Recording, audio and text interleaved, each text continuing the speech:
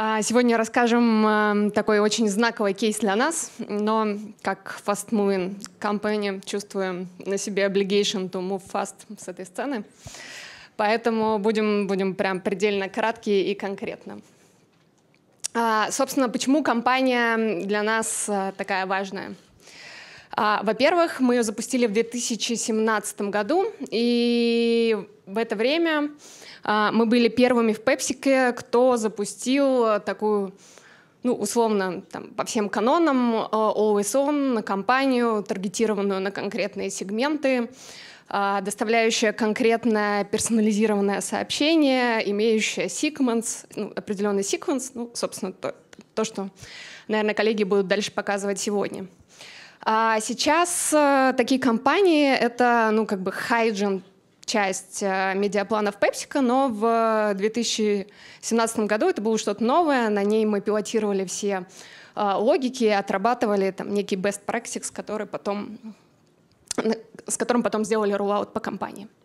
Первая история.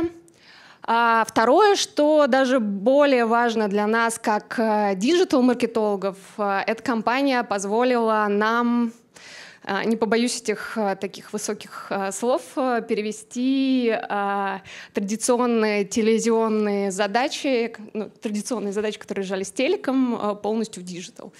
И с 2019 года вся коммуникация в POE будет вестись исключительно в диджитале.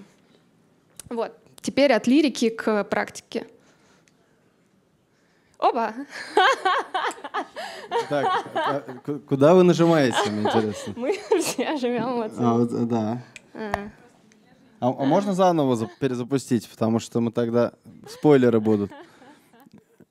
Time for questions. Можете задавать пока. Вот. Да? Да. Ну вот сюда большая кнопка. Большая жму, кнопка, да. Окей. Эть. Эть. Сейчас, сейчас, сейчас. Нет, ты переключай сейчас. Э, Сейчас все, тебя, тебя включают. Да, да, вижу, вижу. Угу. Да, для начала... На, больш... на большом экране нету. Вот, все, все, все, поехали. Окей. Okay. Да. А, для начала буквально пару слов о бренде. Э, Агуша один из флагманских брендов для Пепсика в России. Это ну, доминирующий бренд на детского питания, э, доминирующий бренд детского питания, очень сильный бренд как с точки зрения бизнеса, так и с точки зрения восприятия его потребителям. Да? То есть, ну, как бы, если в зале есть мамы, то 100% вы знаете наш бренд и 100% э, покупали продукты э, в течение последнего месяца.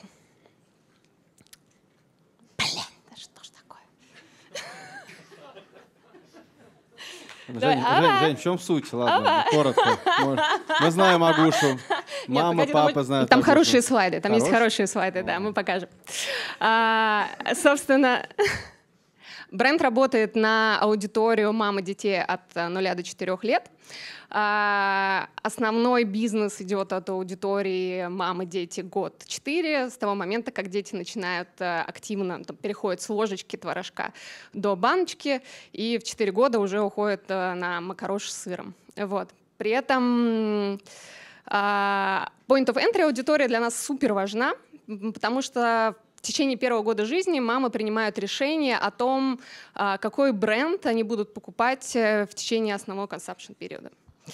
А, здесь есть таких несколько ну, таких ключевых моментов. Первый а, Первая покупка определяет во многом а, дальнейшее потребление бренда в рамках категории. То есть если мама купила творожок, то не было аллергии, все отлично, животик работает как часы. Соответственно, в дальнейшем она будет покупать э, творожки нашего бренда. У нас есть влияние кросс-категорийное на бренд в целом. А, если с творожком все в порядке, то, скорее всего, йогурт тоже будет дальше нас. Это первый момент. Фиксируем. Очень важно быть э, первыми, очень важно донести до мамы, познакомить ее с нашим брендом, чтобы она первым купила его. Вторая история. В течение первого года жизни мы а, только в нашем продуктовом портфолио предоставлено 10 категорий, которые э, мама вводит прикорм малышу. Соответственно, нам нужно быть первыми с 10 продуктовыми категориями и э, успеть э, очень таргетированно рассказать ей о них и дать возможность попробовать. А, третья история. А, пользователь, ну, в категории детского питания нет сезонности, нет больших праздников, нет такой супер прямой зависимости от э, флайта. Почему? Потому что весь consumption период, он базируется на возрасте ребенка. И если там, в 4 месяца маме э, интересна информация про пюре, то ей совершенно неинтересна, ей еще очень далека информация про творожок, да, это, не знаю, как для нас artificial intelligence, да, будет, но как бы пока еще не работаем. Вот, а в 8 месяцев, э, как история, не знаю, с пюре, как OLV э, с субтитрами было, но как бы уже, уже давно не делаем. Вот. А, суммируя, для нас, э, для категории очень важно доносить коммуникацию в суперрелевантный момент, Э, коммуницировать э, с мамой именно тогда, когда она планирует ввести в прикорм э, конкретный продукт. И понимая всю эту историю, мы поставили перед нашими медийными коллегами задачу разработать план, который позволял бы нам коммуницировать э, с э, мамами э, супер таргетированно и знакомить ее с нашим продуктом именно в момент, когда она планирует вводить их прикорм. Но при этом компания должна быть scalable. Да. Изначально задача стояла сделать ее а, сделать охват на каждую из коммуникаций не менее 50%. О, 36 раз из 72, да? Да. Я, кстати, не... Да, передаю слово Вике. Возможно, мне не получится. Большую совсем. кнопку, большую большая кнопку, какая? да, большую Насколько кнопку. большая? Да, самая большая. Да, получив такой амбициозный бриф, мы не испугались. Мы подумали, на рынке все должно быть. Это же большой рынок, большие данные. Мы начали с малого, условно. Мы начали с а, а, потребителей, а, с мам, которые только-только пришли в категорию с новорожденными детьми. Но оказалось, что, как Женя уже говорила, 4 фруктовое пюре и вот его в 4 месяца — это слишком далеко. Как бы у нее в, у, у мамы с новорожденным ребенком совершенно другой mindset, ей неинтересно фруктовое пюре. Дальше мы не растерялись и пошли смотреть на детские товары. Но они оказались слишком широкими, а площадки не готовы были продавать нам исключительно э, покупателей пинеток. Но и здесь мы снова не расстроились и подумали, что, наверное, памперсы и их широкий размерный ряд и возрастная линейка могут нам помочь потому что найти мам четырехмесячных детей. Но, к сожалению, мы потестировали эти сегменты и не, не увидели такого респонса большого, как ожидали. Мы так. серьезно задумались. Так, да. Серьезно задумались, что есть вообще такое что-то, что может идентифицировать маму с точностью до месяца условно возраста ее ребенка и при этом как бы быть общим для всей этой категории. Ответ, да, ответ пришел, откуда мы не ждали. Совершенно. А, нам помогли реальные мамы. А, и все началось с фолиевой кислоты потому что именно фолиевую кислоту а, будущие мамы а, начинают принимать в качестве профилактического средства вот в первые месяцы беременности. Мы подумали, это сигнал. И это действительно был сигнал, который э, стал в основе большого исследования вот этих уникальных сигналов, которые помогают нам идентифицировать детей в каждый конкретный месяц его жизни. У нас есть фолиевая кислота, у нас есть определенный список прививок, которые нужно проходить в течение по, по, в строгом порядке в зависимости от месяца ребенка. Где они, нас... они? Они вот внизу, да? Вот эти, э, да, все вот эти, сегмент, все вот эти большие кластеры, которые мы проработали, потому угу. что мы реально проработали весь контент, который связан с первым годом жизни ребенка.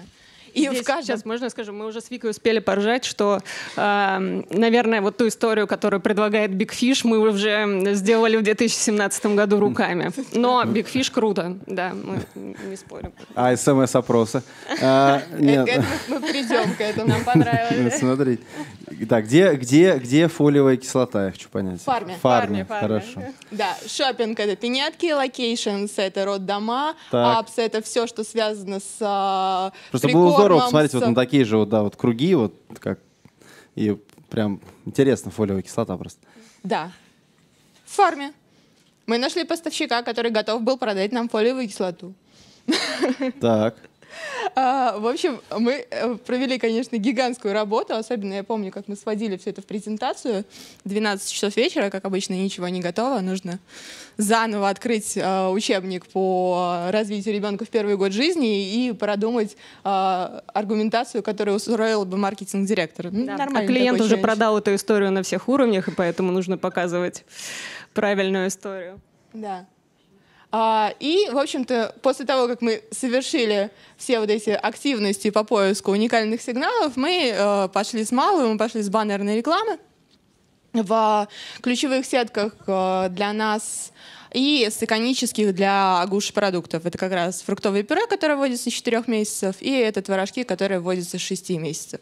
Для каждого из этих сегментов мы проработали уникальные аудиторные сигналы, а, проработали ряд сообщений, которые мы тестировали в рамках баннеров. Мы смотрели, как они будут реагировать на информационные сообщения, как они будут реагировать на купон, готовы ли они вообще к трайлу или не готовы все проверили. А, после того, как мы убедились, что да, действительно есть такие сигналы, которые а, с точностью практически 100% указывают на то, что это наша целевая аудитория, им действительно 4 месяца, а, и они готовы дальше взаимодействовать с Агушей, мы подключили всю продуктовую линейку, вот эти как раз 10 продуктов, о которых Женя говорила, и подключили более весомые условные форматы, такие как видеореклама.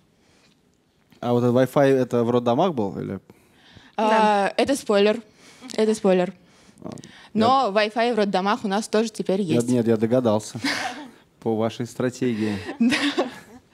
В конце концов, мы пришли к тому, что от новорожденных мам тоже отказываться не стоит. Лучше хранить их вот, и бережно опрашивать каждый месяц, чем потом находить их заново в 4 месяца.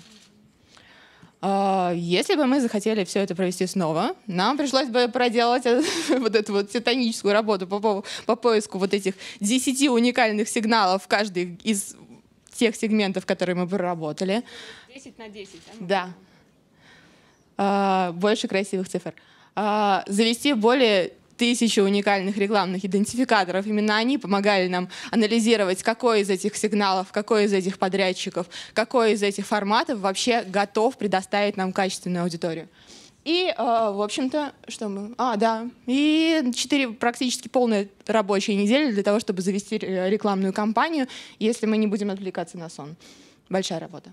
Но она окупилась, можно сказать что к концу тестирования, оно завершилось у нас в марте, мы стали выходить на устойчивый охват 50% нашей целевой аудитории. Здесь, опять же, наша целевая аудитория — это условно мамы с детьми 4-7 месяцев.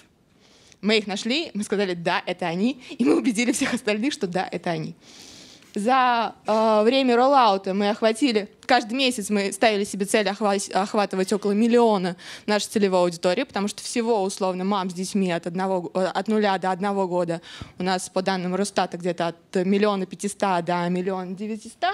Ну и, в общем-то, мы достигли э, значимых э, снижений с точки зрения стоимости контакта, потому что у нас были и бенчмарки по э, вот этим историям в роддомах, какие-то а, стартер-киты, у нас были бенчмарки по стоимости контактов ТВ, в общем, много бенчмарок, но нам удалось с помощью вот этой э, особо узкой сегментированной кампании э, и как бы охватить тех, кому мы планировали охватить, и сделать это не за космическую сумму. Да? Все? Да. да.